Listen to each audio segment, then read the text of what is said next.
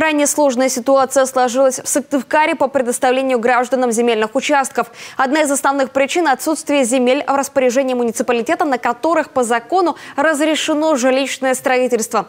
Об этом в том числе шла речь на президиуме в Госсовете Коми. Парламентарии обсуждали повестку будущей сессии. Земельный вопрос оказался одним из самых сложных. Безусловно, вопрос о бесплатном предоставлении земельных участков является очень актуальным для нашего региона, особенно в отношении граждан, имеющих трех и более детей.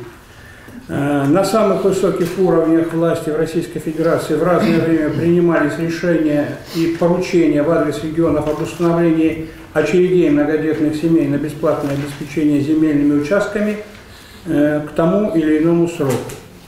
Э, при этом в соответствии с пунктом 6 статьи 39 и 39.5 Земельного кодекса Российской Федерации органами государственной власти могут быть установлена возможность предоставления гражданам с согласия иных мер социальной поддержки Госсовет ранее предлагал правительству Коми ввести оказание других мер социальной поддержки с учетом опыта регионов России. В бюджете региона ежегодно предусмотрено субсидийное обеспечение всех новых участков необходимой инфраструктурой.